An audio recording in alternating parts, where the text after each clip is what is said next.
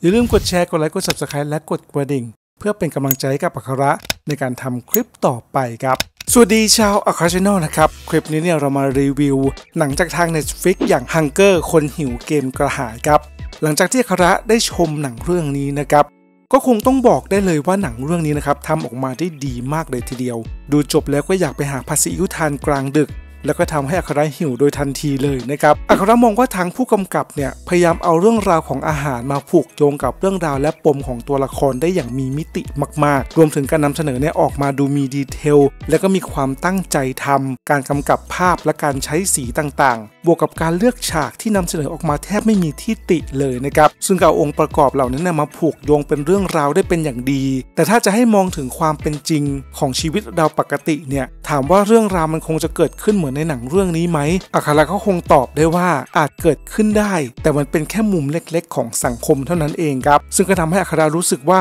บทบาทของตัวละครนั้นนำเสนอเรื่องราวหรือมิติของตัวละครได้เกินจริงไปมากนะครับ การที่คนทำอาหารคนหนึ่งที่เราเรียกว่าเชฟเนี่ยจะมีทัศนคติต่อโลกในด้านลบมากขนาดนี้ ที่เรื่องราวพยายามเอาฐานะทางสังคม มาเป็นตัวขับเคลื่อนตัวละคร ให้ไปในทิศทางที่ดูมืดมน โดยใช้ความหิวโหยของคนแต่ละชนชั้น มาประสานเป็นเรื่องทั้งหมดเนี่ยมันทำให้เราได้เห็นการเสียดสีของมุมมองสังคมไทยได้ไม่น้อยด้วยเช่นกันนะครับคนรวยมองความหิวที่แตกต่างจากคนจน คนจนเนี่ยจะคิดว่ากินเพื่ออยู่ส่วนอีกชนชั้นหนึ่งก็จะอยู่เพื่อกินอะไรประมาณนั้น ถือว่าเป็นสัจธรรมหนึ่งที่เราเข้าใจกันได้ดีครับ แต่บางทีแล้วเนี่ยโลกในความเป็นจริง มันก็ไม่ได้เลวร้ายมากนัก เหมือนกับในหนังที่นำเสนอออกมาขนาดนั้นนะครับอัครเข้าใจผู้กำกับนะว่า ผู้กำกับเองเนี่ยอยากจะนำเสนอมุมมองอีกด้านของคนในโลกนี้ ที่เจอแต่เรื่องกดขี่ทางสังคม และต้องการจะเอาชนะ เพื่อการแก้แค้นจากปมของตัวละครที่ได้เจอมา แต่เมื่อเราดึงสติกลับมา เราก็เข้าใจว่านี่คือหนังนั่นแหละครับ ดูเพื่อความบันเทิง และอินไปกับมันก็พอนะครับ มาพูดถึงด้านการแสดงที่นักแสดงแต่ละคนมารับบทบาทเนี่ยอย่างเช่นตัวละครเชฟพอลอย่างปีเตอร์นพชัยชัยนาม เขาถ่ายทอดอารมณ์ของการเป็นนักแสดงในบทบาทเชฟพอลได้เป็นอย่างดีเลยนะครับมีความเป็นเผด็จการอยู่ในตัว แต่ถ้าให้พูดถึงความเป็นเชฟในตัวละครเนี่ยดูเหมือนว่าบางทีเนี่ยอาจจะขัดต่อความเป็นจริงอยู่มาก การที่คนคนหนึ่งจะมีทัศนคติเหมือนเชฟพอลเนี่ยมันทำให้รู้สึกดูเลวร้ายมากถ้าเราได้เจอในชีวิตจริงครับเพราะการบริหารคนในรูปแบบนี้ของเชฟเนี่ยย่อมทำให้ไม่ได้ใจลูกน้อง และอาจจะเกิดความสูญเสีย เหมือนที่เราเห็นชะตากรรมของเชฟพอลในหนังเรื่องนี้นั่นเองนะครับส่วนตัวละครออยครับแสดงโดยออกแบบชุติมนเนี่ยเราไม่ต้องพูดถึงเรื่องทักษะการแสดงของเธอครับเธอใช้สีหน้าแววตา อะไรออกมาได้ดูอินกับบทบาทมาก ซึ่งถ้าเรามีพี่สาวหรือมีน้องสาวเป็นออยอยู่ในชีวิตจริงเนี่ยอัคราคิดว่าตัวละครออยเนี่ยก็มีชีวิตที่ดีอยู่แล้ว เป็นแม่ค้าร้านราดหน้าทำผัดซีอิ๊วให้คนทานจนติดปาก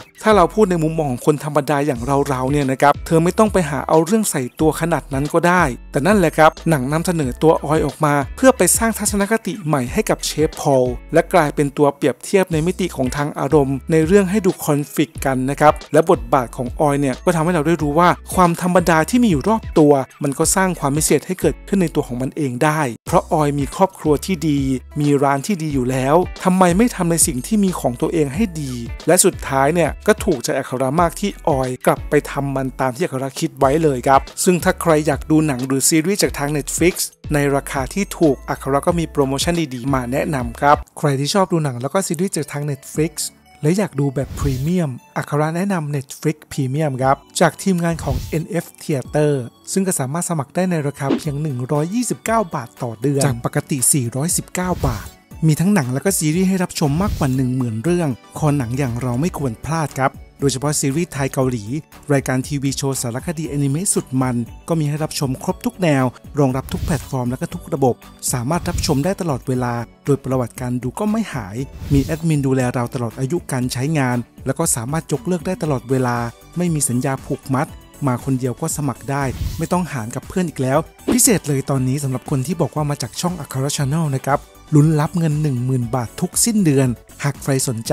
สามารถคลิกลิงก์ที่ด้านล่าง หรือสแกน QR Code ที่ปรากฏอยู่บนหน้าจอได้เลยครับ อย่าลืมมาเป็นส่วนหนึ่งกับทาง NF Theater นะครับ ส่วนตัวละครอีกตัวหนึ่งอย่างโตนนะครับที่แสดงโดยการสวัสดิวัฒน์ณอยุธยา เขาเป็นเชฟหนุ่มที่นำพาออย เข้าสู่เรื่องราวเหล่านี้ ถือว่าเป็นตัวเชื่อมโยงเรื่องราวให้มีมิติขึ้นมาก แต่ดูเหมือนว่าเรื่องราวเหมือนจะนำเสนอความลึกซึ้งของตัวละครระหว่างออยกับโตน แต่กลับให้ความสนใจน้อยในช่วงหลังนะครับซึ่งก็เข้าใจได้ว่าประเด็นนี้มันไม่ใช่ประเด็นหลักของเรื่องราวเท่าไหร่นัก ดังนั้นครับฉากบางฉาก หลังจากเราดูจบแล้วเนี่ยมีความสะเทือนใจ แสดงถึงมุมมองทางสังคมที่ไทยเป็นอยู่ได้เป็นอย่างดีในขณะนี้ แต่สุดท้ายแล้วครับ ก็ทำให้หนังเรื่องนี้มีก๋วยเตี๋ยวผัดที่น่าทานมากๆเรื่องหนึ่งอัคราคิดว่าถ้ามีการต่อยอดนำเมนูก๋วยเตี๋ยวผัดงองแงเนี่ยนะครับหรือผัดซีอิ๊วเนี่ยออกมาเป็นกลยุทธ์ในการโปรโมทหรือเป็นซอฟต์พาวเวอร์ให้กับบ้านเราเนี่ยอัคราคิดว่ามันก็คงจะขายดีไม่น้อย และผัดซีอิ๊วเองเนี่ยในหมู่คนต่างชาติก็ชื่นชอบมากด้วยเช่นกัน ดูเหมือนว่าหนังเรื่องนี้ครับจะขึ้นอันดับหนึ่งในหลาย ๆ ประเทศทั่วโลกนะครับเรียกได้ว่าดึงดูดความสนใจให้กับชาวโลกได้เป็นอย่างดีดังนั้นเนี่ยถึงแม้ว่าหนังเรื่องนี้จะกระแสดีไม่น้อย และผู้กำกับเนี่ยนำเสนอความหิวของสังคม ในรูปแบบต่างๆ ได้ออกมาเป็นอย่างดี โดยเฉพาะเรื่องราวที่อยู่ในสังคมไทยของบ้านเราในปัจจุบัน หนังภาพรวมดูตึงๆทั้งเรื่องนะครับแต่ความตึงของทั้งเรื่องเนี่ยทำให้เราติดตามไปได้ตลอดจนจบเรื่อง ซึ่งถ้าใครไม่ชอบแนวเนี้ยก็อาจจะดูภายใน 10 นาทีแรก แล้วก็เปลี่ยนไปดูอย่างอื่นอย่างแน่นอนครับแต่ถ้ามองลึกๆลงไป การที่ผู้กำกับนำเสนอออกมาในลักษณะแบบนี้ ชื่อว่าคุณโดมสิทธิสิริมงคลสิริ ผู้กำกับหนังเรื่องนี้ ก็คงจะเข้าใจถึงโลกแห่งความเป็นจริงในสังคม โดยเฉพาะสังคมไทยได้เป็นอย่างดี ซึ่งผลงานของคุณโดมอีกเรื่องหนึ่งที่อาคราชอบมากก็คือ หนังเรื่องแสงกระสือภาคแรก หนังเรื่องนั้นเนี่ยภาพสวยมากจริงๆนะครับถือว่าผู้กำกับคนนี้เป็นผู้กำกับมือดีของบ้านเราอีกคนหนึ่งซึ่งถ้ามีนายทุนมาเสริมทางเขาเนี่ยเชื่อว่าผู้กำกับของไทยคนนี้ก็ไม่แพ้ชาติใดในโลกเลยทีเดียว ถ้าจะให้อัคระ ให้คะแนนหนังเรื่องนี้นะครับอัคราให้ 7 เต็ม 10 ถือว่าบทเนี่ยบางจุดยังไม่สมเหตุสมผลเท่าไหร่ การดำเนินเรื่องในส่วนที่สำคัญ ก็ยังดูไม่ประติดประต่อกันเท่าไหร่นักด้วยเช่นกัน แต่การแสดงของนักแสดงหลักทำได้ดีมากครับ โดยเฉพาะ 2 นักแสดงอย่างปีเตอร์ และน้องออกแบบ รวมถึงนักแสดงสมทบคนอื่นๆเนี่ยถือว่าเป็นจุดเด่น แต่ส่วนที่อัคราชอบมากตามสไตล์ของผู้กำกับคนนี้ก็คือ องค์ประกอบศิลป์ไม่ว่าจะเป็นฉากสีภาพการนำเสนอ ดูน่าดึงดูดถือว่าเป็นจุดหนึ่งที่ทำให้หนังเรื่องนี้ ดูน่าสนใจไม่น้อยเลยนะครับซึ่งถ้าใครสนใจอยากจะดูหนังเรื่องนี้แล้วเนี่ยสามารถไปหาชมได้ที่ Netflix ณตอนนี้ก็สตรีมพร้อมกันทั่วโลกแล้ว และก็อย่าลืมโปรโมชั่นดีๆ ที่อัครามาแนะนำด้วยนะครับ ถ้าใครสนใจที่จะชม Netflix ราคาถูก อย่าลืมแอดไลน์ในการสมัครชม Netflix Premium กับทางทีมงาน NF Theater ที่อัคระก็ได้แปะลิงก์ไว้ที่ description ด้านล่างนั่นเองครับ หรือจะสแกน QR code ที่ปรากฏอยู่บนหน้าจอนี้ได้เลยครับ เอาเป็นว่าใครมีอะไรเพิ่มเติมที่เกี่ยวข้องกับหนังเรื่องนี้ สามารถมาพูดคุยแลกเปลี่ยนความเป็นเห็นกันได้ที่คอมเมนต์ใต้คลิปด้านล่างนี้เลยครับ ถ้าคระพูดอะไรผิดไปหรือนำเสนออะไรที่ผิดไปก็ต้องขออภัยมาณที่นี้ อย่าลืมกดแชร์ กดไลค์ กด subscribe และกดกระดิ่ง เพื่อไม่ให้พลาดการรับชมเรื่องราวดีๆ จากช่องของเรา พบกันใหม่คลิปหน้า สวัสดีครับ ขอบคุณอย่างสุดซึ้งสำหรับผู้สนับสนุนช่องของเรานะครับ ไม่ว่าจะเป็นคุณชานุนลิมาวรารัตน์คุณดีเจภูมิออฟฟิเชียลคูณ 2 คุณ XXI Legacy คุณ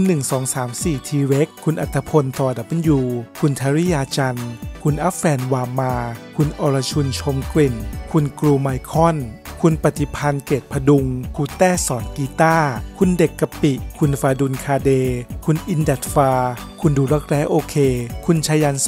2520 คุณโจนักคริน คุณยังกำไมดีกิ คุณณวันทรพระรางกูล คุณนัทอีที และก็คุณโนวันนี้ครับ